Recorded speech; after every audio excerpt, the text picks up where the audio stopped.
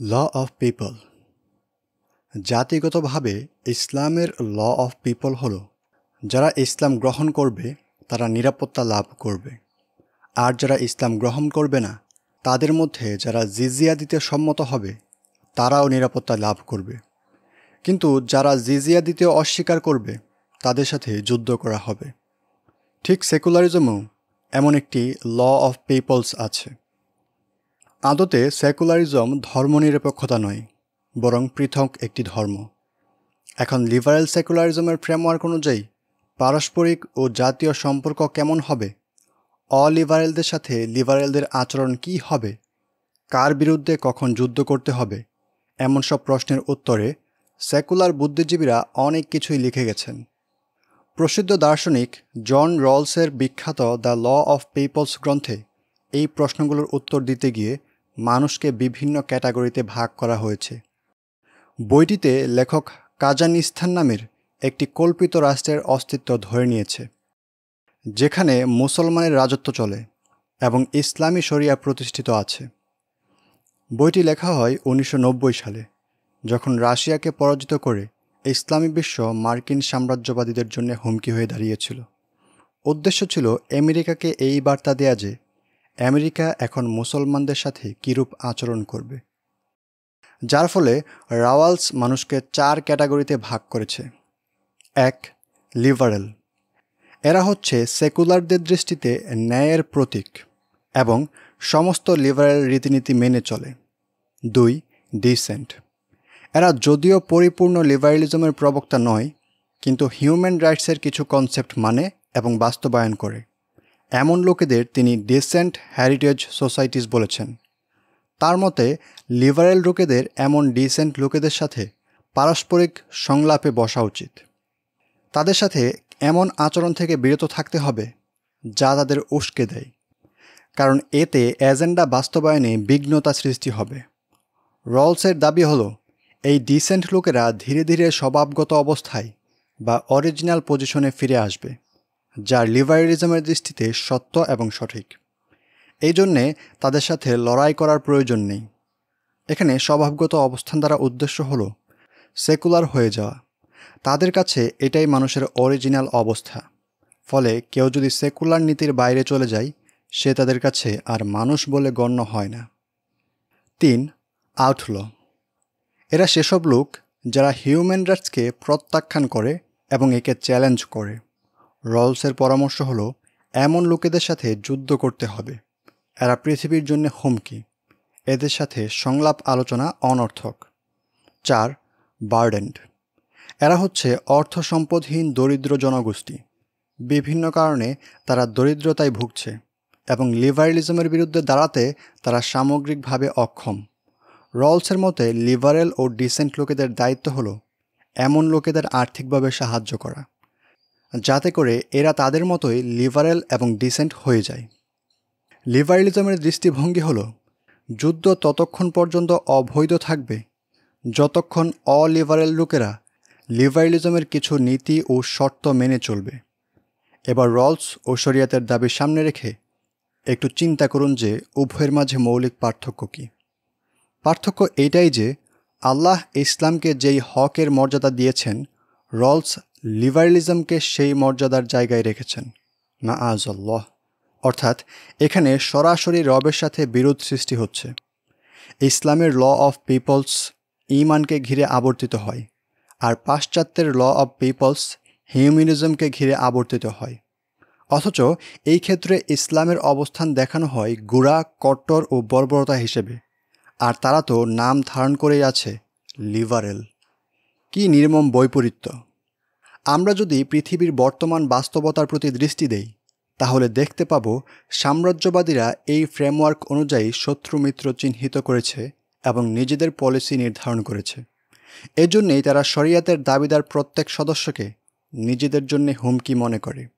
যারা এই শরিয়া প্রতিষ্ঠার আওয়াজ তুলে, তাদের বিরুদ্ধেই যুদ্ধ ঘোষণা করে, কারণ তাদের দৃষ্টিতে এসব লোক হলো আউটল পক্ষান্তরে মুসলিমদের মধ্যে যারা পাশ্চাত্যকে আদর্শগতভাবে কিংবা কার্যত মেনে নিয়েছে, তাদের সাথে সংলাপ আলোচনা চলে। তাদেরকে ঘুম পাড়নি গল্প শুনিয়ে পেলে পুষে রাখে। এরা হচ্ছে ডিসেন্ট। আর এদের অনেকে ঠিকই একটা পর্যায়ে রলসের দাবি অনুযায়ী লিবারেলিজমকে পলিসি হিসেবে গ্রহণ করে নিচ্ছে। আর বর্তমানে বার্ডেন্ট হল বিভিন্ন উদ্ধত শিবির এবং গরিব অঞ্চল। যেখানে আন্তর্জাতিক এনজিও সংস্থাগুলো রলসের দেখানো পদ্ধতিতে কাজ করছে। এখানে দু হাজার তিন সালে র্যান্ড কর্পোরেশন কর্তৃক প্রকাশিত সিভিল ডেমোক্রেটিক ইসলাম নামক রিপোর্ট খুবই প্রাসঙ্গিক। র্যান্ড কর্পোরেশন আমেরিকার গ্লোবাল পলিসি থিঙ্ক ট্যাঙ্ক হিসেবে সারা পৃথিবীতে অত্যন্ত পরিচিত নাম। র্যান্ড কর্পোরেশন শব্দের বিস্তারিত রূপ হল research and development corporation. Rand corporation হল আমেরিকার একটি এনজিও প্রতিষ্ঠান। এর কাজ হল আমেরিকার অর্থনৈতিক, সামাজিক, সমরনৈতিক, রাজনৈতিক এবং কূটনৈতিক নীতি নির্ধারণী বা থিঙ্ক ট্যাঙ্ক হিসেবে গবেষণা করা। এই প্রতিষ্ঠানের গবেষণার ভিত্তিতেই চূড়ান্ত আলোচনা পর্যালোচনার পর যে কোনো ধরনের মার্কিন নীতি বা সিদ্ধান্ত গৃহীত হয়। দ্বিতীয় বিশ্বযুদ্ধের পর উনিশশো ছেচল্লিশ সালে আমেরিকাকে সারা বিশ্বে একক পরাশক্তি হিসেবে প্রতিষ্ঠিত করার লক্ষ্যে জেনারেল হেনরি হ্যাপ আয়ারল্যান্ড এর নেতৃত্বে সর্বপ্রথম র্যান্ড কর্পোরেশনের যাত্রা সূচিত হয়। এরপর ক্রমে ক্রমে এর খ্যাতি ও গ্রহণযোগ্যতা বৃদ্ধি পেতে থাকে। কারণ এই রিপোর্টে পাশ্চাত্যের ল অফ পিপলস এবং সে অনুযায়ী তার পদক্ষেপসমূহ সুস্পষ্টভাবে আলোচিত হয়েছে। জন রলসের বিভাজনটি ছিল অনেকটা ব্যাপক। সে যে কোনো বিশেষ ধর্ম কিংবা গোষ্ঠীর কথা উল্লেখ করে এই বিভাজন নীতির আলোচনা করেনি। কিন্তু র্যান্ড কর্পোরেশন কেবল মুসলিমদের চিহ্নিত করে এবং তাদেরকে চার ভাগে বিভক্ত করে উপস্থাপন করে। এই রিপোর্টে র্যান্ড মুসলিমদের চার ভাগ করে দেখানোর চেষ্টা করে যে আমেরিকা কোন ভাগের সাথে কিরূপ পলিসি গ্রহণ করবে। সেই চার ভাগ হলো ফান্ডামেন্টালিস্ট মুসলিম, অর্থাৎ মৌলবাদী ও চরমপন্থী মুসলিম। এরা সেসব মুসলিম যারা ইসলামকে শুধু কতক আচার অনুষ্ঠান এবং ব্যক্তিগত আচার ইবাদতের ধর্ম মনে করে না, বরং ইসলামকে মনে করে এক পরিপূর্ণ দিন এবং মানব মুক্তির অবিকল্প জীবন ব্যবস্থা যারা চায় আল্লাহ সুবাহানাহুয়া তাঁলার নাজিলকৃত বিধান দিয়ে শাসন ও বিচার কার্য পরিচালনা করতে, চায় সামাজিক ও অর্থনৈতিক পরিসরেও ইসলামকে একচ্ছত্রভাবে প্রতিষ্ঠিত করতে। এক কথায়, তারা আল্লাহর দিনকে সব ক্ষেত্রেই বিজয়ী রাখতে চায়। আল্লাহর জমিনে আল্লাহর শাসন প্রতিষ্ঠিত করতে চায়। তারা কোনো ক্রমেই পাশ্চাত্য সভ্যতাকে মেনে নেয় না। পাশ্চাত্য সভ্যতার প্রধান শত্রু তারা। যে কোনো মূল্যে ওদের বিনাশ করা পাশ্চাত্যের গুরুত্বপূর্ণ লক্ষ্য। জন রলসের ভাষ্যমতে, এরা হলো আউটল।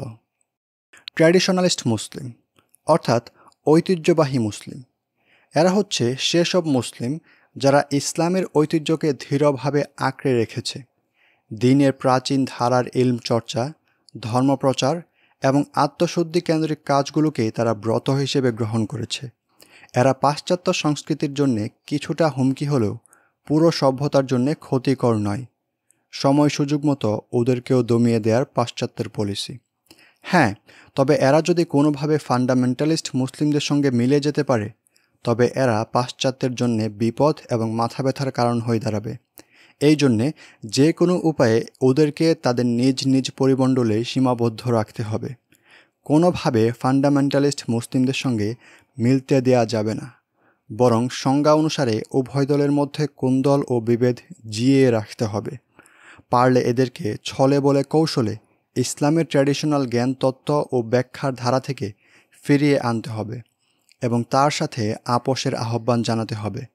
পাশাপাশি এদেরকে মডারেট মুসলিমদের প্রতি সহনশীল করে তুলতে হবে। মডারেট মুসলিম, অর্থাৎ আধুনিকতাবাদী মুসলিম, এরা আদি ও আসল ইসলামকে বর্তমান সময়ের জন্যে অকার্যকর ও সেকেলে মনে করে। তাই ইসলামকে নতুনভাবে ব্যাখ্যা করতে চাই, ইসলামের পরিমার্জিত সংস্করণ বের করতে চাই। এদের এসব ব্যাখ্যার পেছনে মূল উদ্দেশ্য ইসলামকে প্রবৃত্তির সঙ্গে সামঞ্জস্যপূর্ণ করা, ইসলামকে পাশ্চাত্য ধারার জীবন ব্যবস্থা এবং তার সভ্যতা সংস্কৃতির সঙ্গে সঙ্গতিপূর্ণ করা, যাতে করে ইসলামের ইতিবাচক দিকগুলোও পালন করা যায়, আবার প্রবৃত্তি পূজারও অংশ হিসেবে নেতিবাচক দিকগুলোর সঙ্গেও অংশগ্রহণ করা যায়। এরা ইসলামের এক নতুন ভাষণ আবিষ্কার করতে চায়, যা পাশ্চাত্যের সাথে সঙ্গতিপূর্ণ হবে, পাশ্চাত্যের সাথে যে কোনো সংঘাতকে প্রত্যাখ্যান করবে। হুক সেই সংঘাত ইমান ও কুফরের সাথে। র্যান্ডের পলিসি সাজেশন হলো মোডারেট মুসলিমদের সাহায্য করতে হবে, এদের জন্য ফান্ডের ব্যবস্থা করতে হবে। আর বিশেষভাবে প্রিন্ট ও ইলেকট্রনিক মিডিয়ায় এদের প্রচারণার ব্যবস্থা করতে হবে। যেহেতু সাধারণ মুসলিমদের মধ্যে এদের উল্লেখযোগ্য অবস্থান ও সবিশেষ গ্রহণযোগ্যতা নেই, তাই মিডিয়ার মাধ্যমে এদেরকে মানুষের কাছাকাছি নিয়ে আসতে হবে, যাতে তাদের আহ্বান মানুষের কানে পৌঁছিয়ে যায়। দু হাজার তিন সালে সিভিল ডেমোক্রেটিক ইসলাম শীর্ষক রিপোর্টের পর দু হাজার সাত সালে বিল্ডিং মডারেট মুসলিম নেটওয়ার্কস নামে একটি বিস্তারিত ফলো আপ রিপোর্ট প্রকাশ করে র্যান্ড। এই রিপোর্টের মূল উদ্দেশ্য ছিল আমেরিকা বান্ধব মডারেট ইসলামকে মুসলিমদের মাঝে ব্যাপক করার জন্যে পাশ্চাত্যের পলিসি নিয়ে আলোচনা করা। পাশাপাশি এটা দেখানো যে পাশ্চাত্যের জন্যে এই মডারেট ইসলামকে জনপ্রিয় করে তোলার কেন প্রয়োজন? দু হাজার তিন সালে promoting online voice for countering violent extremism নামে একটি রিপোর্ট প্রকাশ করে র্যান্ড। এই রিপোর্টে মডারেট ইসলামের প্রচারের জন্যে এবং প্রকৃত ইসলামী শিক্ষাকে যাতে র্যান্ড কট্টরপন্থী বলে মোকাবিলা করার জন্যে মিডিয়ার গুরুত্ব নিয়ে আলোচনা করা হয়। এখানে সুনির্দিষ্টভাবে সেসব ব্যক্তি ও সংগঠনের নাম চলে আসে মুসলিম কমিউনিটির মধ্যে থেকে যারা মোডারেট ইসলাম বা আমেরিকা বান্ধব ইসলাম প্রচার করে যাচ্ছে। এদেরকে নিয়েই আমেরিকার সব আয়োজন। উল্লেখিত সব রিপোর্টেই আমেরিকা এদেরকে সবচেয়ে বেশি গুরুত্ব দিয়েছে। যেভাবেই হোক, ফান্ডিং করে তাদেরকে মিডিয়ার ফলো আপ করা, তাদের লিখিত বইপত্র, প্রবন্ধ নিবন্ধন ইত্যাদি সর্বত্র ছড়িয়ে দেয়া আর এই জন্যে পাশ্চাত্যের সব ধরনের প্রচার মাধ্যমকে ব্যবহার করার জন্যে প্রস্তাবনা রাখা হয়েছে রিপোর্টগুলোতে। আমাদের ভালো করে বুঝতে হবে, এসব রিপোর্টের টার্গেট নির্দিষ্ট কোনো সন্ত্রাসী বা জিহাদি সংগঠন না। এদের মূল টার্গেট ইসলাম, কারণ তারা নির্লজ্জের মতোই জানিয়ে দিচ্ছে যে ওয়াশিংটন মিলিয়ন মিলিয়ন ডলার ব্যয় করে যাচ্ছে এমন এক প্রচারণার জন্যে, যার উদ্দেশ্য কেবল মুসলিম সমাজকে প্রভাবিত করা নয় বরং ইসলামকে বিকৃত করে ফেলা। যদি কেবল সন্ত্রাসী নিয়েই তাদের মাথা ব্যথা থাকত, তাহলে কেন ইসলামকে বিকৃত করে ফেলার মতো প্রয়োজন পড়ল তাদের? কেন পাশ্চাত্য বান্ধব ইসলাম আবিষ্কারে তাদের এত আগ্রহ? তারা এমন এক ইসলাম তৈরি করতে চায়, যা আদতে কুফর, মোহাম্মদ সাল্লাহ আলহিহাসাল্লামের শরিয়ার সাথে যার কোনো সম্পর্ক থাকবে না। তাই আমাদের কর্তব্য হলো ইসলামের যেসব বিষয়গুলোকে এরা অপপ্রচারের মাধ্যমে বিতর্ক করতে চায়, তাকে আপসহীনভাবে বিশ্ববাসীর সামনে তুলে ধরা। যেসব মুসলিম ব্যক্তিত্ব ইসলামের হদুদ, জিহাদ, খিলাফা, ওয়ালাবারা হাকিমিয়াহ ইত্যাদির ব্যাপারে দোয়াশা সৃষ্টি করে, তাদের থেকে নিজের সাবধান হওয়া এবং অন্য মুসলিমদের সতর্ক করা। নিজেদের খেয়াল খুশি মোতাবেক ইসলাম না খুঁজে শরিয়ার অকাট্য দলিলের আলোকে ইসলাম বোঝা।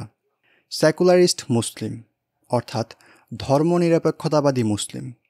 এরা প্রথম থেকেই আমেরিকার পকেটে রয়েছে। তাই এদের নিয়ে আলাদা চিন্তা বা মাথা ব্যথা নেই। এরা কারোর জন্যে কোনো ঝুঁকির কারণ নয়। সেকুলারিস্ট মুসলিমেরা মূলত মুসলিমই নয়, কারণ তারা ইসলামকে কেবল ব্যক্তি জীবনে পালনীয় ধর্ম মনে করে এবং রাষ্ট্রকে ধর্ম থেকে আলাদা মনে করে। এদের দৃষ্টিতে রাষ্ট্রের রাজনীতি, অর্থনীতি বিচার ব্যবস্থা ইত্যাদি থাকবে, ধর্মের বলয় থেকে সম্পূর্ণ মুক্ত। রলসের ভাষায় এরাই হলো লিবারেলিস্ট। এমন সাম্রাজ্যবাদী ও আগ্রাসনী নীতি অনেক পশ্চিমা দার্শনিকদের বক্তব্যেও পাওয়া যায়। যেমন রুশও বলেছেন, মুসলিমদের সাথে পাশ্চাত্যের আচরণবিধি প্রসঙ্গে এখানে র্যান্ডের প্রতিবেদনগুলোর কথা উল্লেখ রয়েছে। উদ্দেশ্য হলো এটা সুস্পষ্ট করা যে পাশ্চাত্য সভ্যতা কতটা সাম্প্রদায়িক। তবে আমাদের জন্য এই রিপোর্টগুলোর সবচেয়ে গুরুত্বপূর্ণ দিক হলো ইসলামকে বিকৃত ও পাশ্চাত্যকরণের পেছনে তাদের সামগ্রিক প্রক্রিয়াকে জানা ও বোঝা। এর পেছনে কারা কীভাবে কাজ করে যাচ্ছে এবং তাদের কাজের পদ্ধতিগুলো ইসলামের সাথে কেন সাংঘর্ষিক, এই বিষয়গুলোর বিশ্লেষণ নিয়ে পৃথক গ্রন্থের আয়োজন। আমরা দোয়া করব, আল্লাহ ওম্মার এই প্রয়োজন পূরণ করে দেবেন ইনশা আল্লাহ রোশর বক্তব্যে সরাসরি পাশ্চাত্য সমাজের কথা উল্লেখ নেই। সে খায়েশ পূরণের জন্যে গঠিত সামাজিক কাঠামোর কথা বলেছে, আর এটাই পাশ্চাত্য সমাজ ব্যবস্থার মূল উপাদান।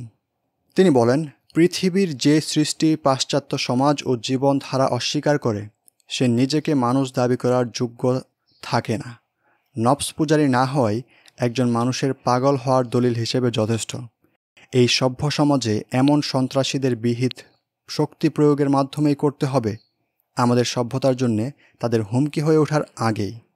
আর যদি কোথাও পুরো সমাজই এমন সন্ত্রাসী হয়ে যায়, যেমন তালিবান, তাহলে যেসব সভ্য সমাজ আমাদের নীতি মেনে নিয়েছে, তাদের আন্তর্জাতিক রাজনীতির মাধ্যমে সেই সন্ত্রাসী সমাজের বিরুদ্ধে মিশনের বৈধতা দেয়া হবে। এমন অসভ্য জঙ্গি লোকেদের নিশ্চিহ্ন করে ফেলার নির্দেশ দেওয়া হবে, যেন বাকি মানব সমাজ বা হিউম্যান হয়ে উঠে জীবনযাপন করতে পারে। বিভিন্ন সময় আমাদের মুসলিম ভাইদের গ্রেফতার দেখানো হয়। তাদের অপরাধ হিসেবে দেখানো হয়। তারা গণতন্ত্র কিংবা সেকুলারিজমে বিশ্বাসী নয়। এগুলোকে তারা কুফুরি ব্যবস্থা মনে করে। এই অপরাধের কারণেই একটা সেকুলার রাষ্ট্র তাদের বসবাসের অধিকার কেড়ে নেয়। কারণ তাদের ল অফ পিপলস অনুযায়ী তারা পাশ্চাত্য সভ্যতার জন্য চরম হুমকি। এই জন্যেই পশ্চিমা বিশ্ব এদেরকে চরমপন্থী হিসেবে আখ্যায়িত করে। অথচ কোনো মুসলিমই এসব মতবাদে বিশ্বাসী হতে পারে না। দুঃখজনক হলেও সত্য যে, এসব পাশ্চাত্য মতবাদকে অধিকাংশ মুসলিমই আজ আদর্শিকভাবে গ্রহণ করে নিয়েছে। আমরা যদি সত্যিই নিজেদের ইমানের ব্যাপারে সিরিয়াস ও সংবেদনশীল হই, তাহলে আমাদের উচিত এসব মতবাদ প্রত্যাখ্যান করা। আজকে আমরা মুসলিম নাম ধারণ করেও পাশ্চাত্যের ল অফ পিপলস মেনে নিচ্ছি, অথচ নিজের ল অফ পিপলস বিকৃতি করছি। যারা ইসলামের ল অফ পিপলস প্রতিষ্ঠিত করতে চায়, তাদেরকে উগ্রবাদী বলে দূরে ঠেলে দিচ্ছি। আমাদের জন্যে উচিত ছিল পাশ্চাত্যের ল অফ পিপলস দেখে নিজেদের শত্রুমিত্র চিনে নেয়া। পাশ্চাত্য কেন মুসলিমদের বিভিন্ন ক্যাটাগরিতে ভাগ করল? কেন প্রত্যেক ক্যাটাগরির সাথেই ভিন্ন ভিন্ন আচরণবিধি নির্ধারণ করল? এর পেছনে কি তাদের উদ্দেশ্য? এই প্রশ্নগুলো নিয়ে ভাবলে আমরা অবশ্যই আমাদের শত্রুমিত্র চিনতে পারব। সাথে সাথে এই পরিস্থিতিতে নিজেদের করণীয় নির্ধারণ করতে পারব। দরকার কেবল নিজেদের ইমান ও দিনের ব্যাপারে একটু সিরিয়াস হওয়ার।